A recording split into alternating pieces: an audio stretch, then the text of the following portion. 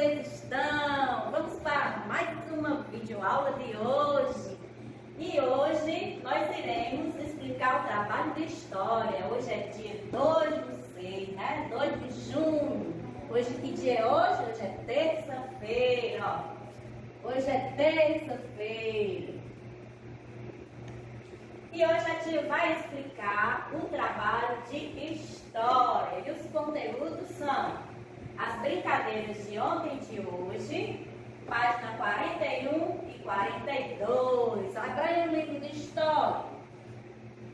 Vocês, aqui ó, na página 41 e 42, brincadeiras de ontem e de hoje, né? Que a tia explicou durante todo o mês de maio, né? Esses conteúdos. Aí que a tia pediu aí para vocês observarem, né? Nesse essa imagem, as crianças brincando, né? Tem várias brincadeiras aí. Aí, é, é, dizendo também que as mais comuns, as brincadeiras mais comuns, como pega-pega, né? As brincadeiras antigas, pula corda, né? E brincar de roda são as brincadeiras mais antigas, né? E fora outras brincadeiras mais antigas que tem também. E na página na página 42, nós temos também, né, ó, as cantigas de roda. São exemplos de brincadeiras passadas de geração para geração. Algumas, é, algumas delas, né, é, em muitos lugares, são esquecidas, né? Quer dizer, tem, tem muitas brincadeiras, muitas cantigas de roda, né, que já foram esquecidas por ser muito antiga, né? As crianças hoje em dia não brincam mais. Mas tinha muitas cantigas de roda na, antigamente, né? As crianças brincavam, cantavam aquelas musiquinhas, mas hoje em dia não brincam mais. Portanto, se chamam brincadeiras de ontem, né? Brincadeiras antigas, no tempo da vovó e do vovô. Aí temos aqui também, na página na página aqui, ó, página 48. Na página 48, temos o que? O conteúdo A Família, página 48, né? Que fala sobre a família. A família é um grupo de pessoas que vive conosco. Essas pessoas estão ligadas umas às outras por casamento, filiação ou doação ou adoção, perdão. É, com a família, podemos compartilhar nossas vontades, né? Nossos costumes, momentos bons e até momentos, até nos momentos difíceis. Quer dizer que a família, né? Tem vários tipos de família, né? Tem famílias adotadas, famílias ligadas por casamento, né? Papai mamãe, os filhos. Aí aqui embaixo tem a família natural, olha, tem os tipos de família, né? A família natural é aquela formada pelos pais ou apenas um deles, né? E seus descendentes. A família nuclear, né? Tem a família nuclear também, é o grupo de pessoas que residem no mesmo, na mesma casa. Em geral, é composta por filhos naturais ou adotados e pelos pais. Mas atualmente há diferentes formações de famílias nucleares: netos, avós, tios, sobrinhos e etc. Né? Porque na, é, é, são mais formados em quê? É, os pais, os avós criam os netos, né? Os avós com os netos tem também com os tios, né? Que vivem tudo dentro de casa, todo mundo junto. Então, né, tem vários tipos de família. Aí aqui, ó, na página, aqui na página 50. Na página 50, a gente tem falando o quê? O conteúdo é a história da sua família, né? Então, minha gente, aqui está dizendo aqui, a história da sua família corresponde à sua história e a de seus parentes. Os parentes são pessoas ligadas a, a outras, né? Por, por vínculos familiares ou é, consanguíneos, consanguinidade, ou seja, né? De sangue, família de sangue. afinidades ou, né, ou doação, ou adoção, que, desculpa pessoal, ou doação, porque eu bem pequenininho. Os nossos parentes são pai, mãe, irmãos, é, avós, tios e primos. As crianças são parentes descendentes dos seus, é, dos mais velhos, né? Por isso são chamados de filhos, netos e sobrinhos. Assim, a história da sua família pode ser contada a partir da história da sua avó. Por exemplo, né? Pode ser contada, por, por exemplo, a história da sua família, que isso começa com quem? Pelo vovô e pela vovó, né? Que tem aqui, ó, netinho com avô e avó, aqui, ó, certo? Tem, é, tem, tem netinhos que são criados pelos avós, né? Tem muitos netinhos que os avós é quem cuidam deles, né? Das crianças. As crianças gostam muito do vovô e da vovó. Alguns dos nossos parentes são da família do papai. Assim são chamados de parentes mater, é, paternos. É, são parentes paternos. Os da família da mamãe são chamados de parentes maternos, né? Que é tipo assim, o vovô e a vovó, que é o pai, é, é, a mãe, é o pai e a mãe da sua mãe. São o quê? Eles são seus avós maternos. E o pai e a mãe do, do seu papai são chamados de avós paternos, né? Então, minha gente, aí vocês, nós iremos, né? Agora eu vou explicar o nosso trabalho de história, né? E tem assim, na primeira questão, observem as imagens abaixo e escreva o nome das brincadeiras que as crianças estão brincando. Aí, olha, tem várias crianças brincando. Ó. Tem, tem crianças brincando de, de amarelinha, é, de bola, pular corda, brincando de vila. E abaixo você irá escrever, vocês irão escrever o nome de cada brincadeira que essas crianças estão brincando. Questão 2. Pinte o brinquedo que você mais gosta. Aí tem vários brinquedinhos que a tia colocou aí, né? Aí você vai pintar qual brinquedo que você mais gosta de brincar, tá certo? Terceira questão, numere corretamente os parentes da sua família. Aí tem aí, número um, vovô, o dois, a vovó, é, o três tem primo, quatro titia e cinco de tio.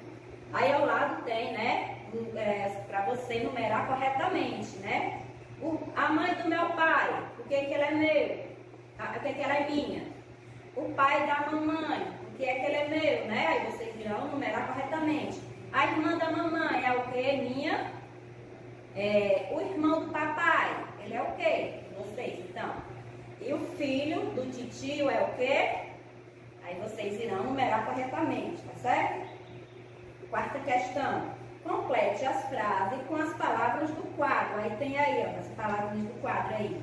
Tem avô, primo, tia, mãe, tio e irmão. Aí abaixo tem as opções. Letra A. A minha mãe é o. É, perdão, o pai da minha mãe é o meu. Aí você vai completar corretamente com a palavrinha que tem no quadro. O filho da minha tia é o meu. Para cima. Você, você vai completar com essas palavrinhas. Letra C. A esposa do meu pai é a minha. Né? Letra D. A irmã da minha mãe é a minha. O irmão do meu pai é o meu. Letra F. O filho, da, é, o filho do meu pai é o meu o quê? Aí você irá colocar a, a palavrinha certa. E quinta questão, marque o X nas pessoas que fazem parte do seu núcleo familiar. O que é núcleo familiar? São as pessoas com quem você convive, né? Aí tem ali os quadradinhos para você marcar o X, né? Com os nomes de cada um. Tem, ó, papai, você vive com papai, com a mamãe, com o irmão, com o tio, tia, primo, é, prima, sobrinho ou sobrinha, né? Então vocês irão marcar um X, né? Nas pessoas que fazem parte do seu núcleo, núcleo familiar, viu? Tá certo, minha gente? Oi, tia Ingrid. Tia Ingrid veio fazer uma visitinha pra gente. Ela é um amor, né, tia Ingrid? Beijo, tia Ingrid. Hum. Vamos lá. É, vamos agora para o trabalho de ética e cidadania, né? Esse livrinho aqui, ó, de ética e cidadania. É, o conteúdo, hora de chegar e hora de hora de sair e hora de chegar. Página 25, né? Que nós vimos, né, na, nas aulas passadas, né? Que para tudo tem hora, tem hora para sair, tem hora para chegar, né? A, é, a hora de chegar na escola, a hora do lanche, a hora de sair também, né? Hora de dormir, hora de almoçar, oh, perdão, hora de, de, de almoçar, hora de tomar banho, hora de jantar, hora de fazer as atividades, né, que a tia passa.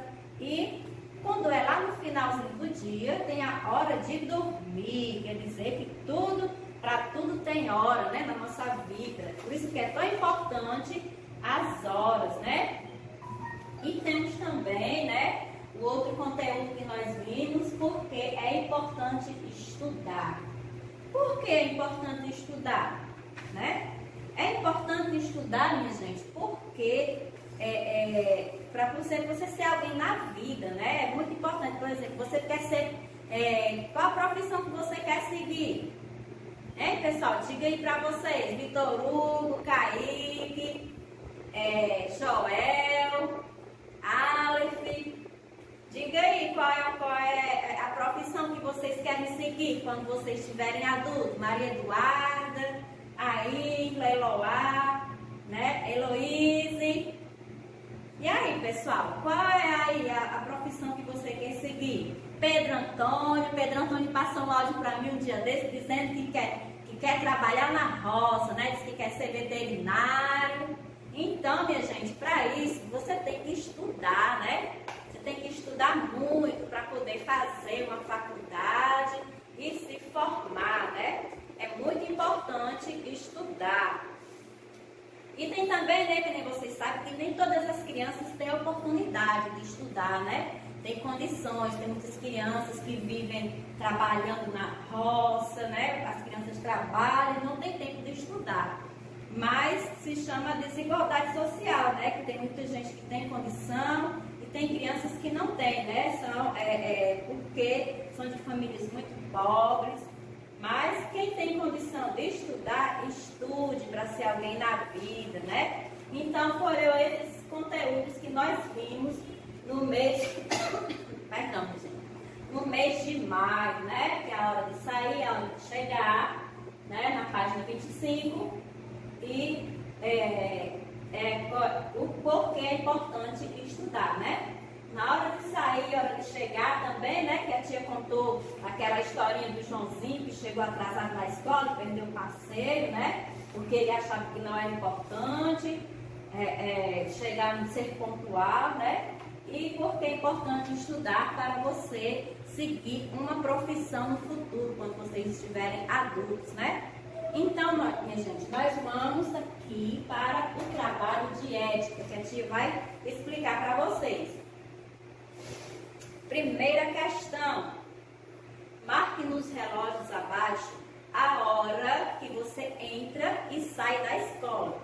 Aí no trabalho de vocês vai ter dois reloginhos, né? Que vocês irão colocar os ponteiros, viu? Vocês irão colocar os ponteiros na hora que vocês chegam na escola e o outro ponteiro, é, e o outro ponteiro na hora que você sai da escola. Vocês terão desenhar ponteiro aí, bem direitinho, os ponteiros, tá certo? Lembrando, né, que o ponteiro pequeno marca as horas e o ponteiro grande marca os minutos. Segunda questão.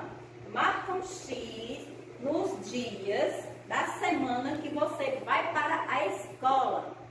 Aí tem aí segunda-feira, terça, quarta, quinta-feira, sexta-feira, sábado e domingo. Aí vocês irão marcar um X nos dias da semana que vocês vão à escola.